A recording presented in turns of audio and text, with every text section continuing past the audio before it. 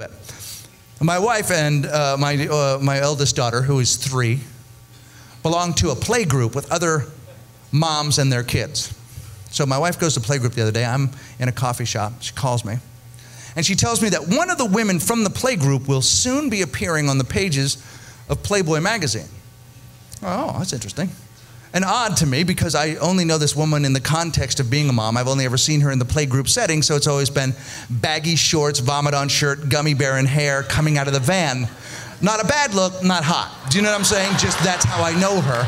And then I don't, I've only just sort of know her and she's in my mom category in my head. And then, you know, then I will see her later on, say at her son's birthday party or something, and I will have also seen her bush. So, I'm gonna, yes, yes, I'm going to look. And I say that to my wife. Well, who wouldn't, please? And I say that to my wife, and she laughs because the word bush makes her giggle.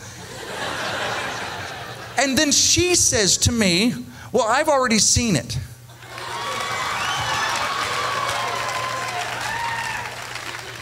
And I don't know what's happening. Like, I don't know where I am. I don't, am I still in the coffee shop? I didn't pay for this call. I don't know.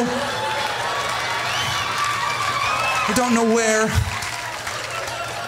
I am entirely.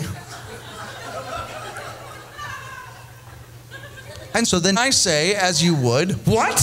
And she says, well, she showed me her bush. We were talking about her upcoming appearance in Playboy, and we were discussing what would be the proper haircut for such an event. And so she showed me her bush. And I'm like, stop saying showed me her bush. Slow it down. Tell it slower. Don't just fucking jump to Bush. What's she wearing? Set the scene. It's a great story. Tell it right. Is she wearing a skirt? Does she unbutton pants? How does it go? Slow it down. So then she says, and I swear to you, every word of this, absolutely true. So then she says, Well, I showed her mine.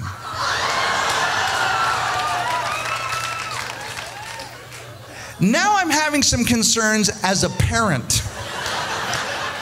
I'm just curious, say, where are the kids during Bushfest? I just want to know during your pull your pants down party that you're having, where the kids might be.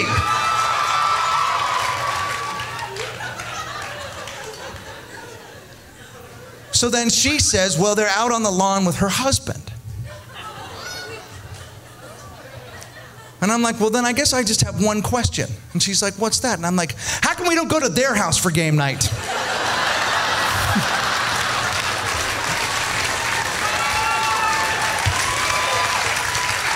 now, thank you.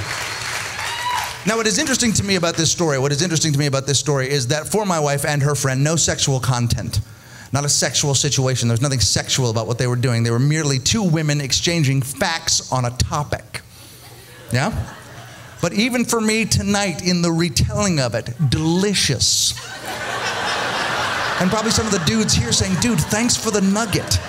I'm to change the faces, but awesome. Thank you for the little biscuit that I will take with me tonight. Thank you. You got it, bro. And I think that it illustrates a difference between the sexes in a way because women have that sort of comfort where, and I, look, I am a comfortable man. I'm comfortable in my skin. I'm wearing a scarf for no reason, so clearly I don't care. And I'm comfortable with my friends. My friend Boris, I can tell my friend Boris I love him. I can give Boris a hug. But I will never be standing in the kitchen with Boris going, say, dude, I'm going on a ski weekend. What do you think? Trimmed it tight, not working with a lot. Want to make it look large. Have I succeeded? What do you think? What do you got going on? Extensions, unexpected.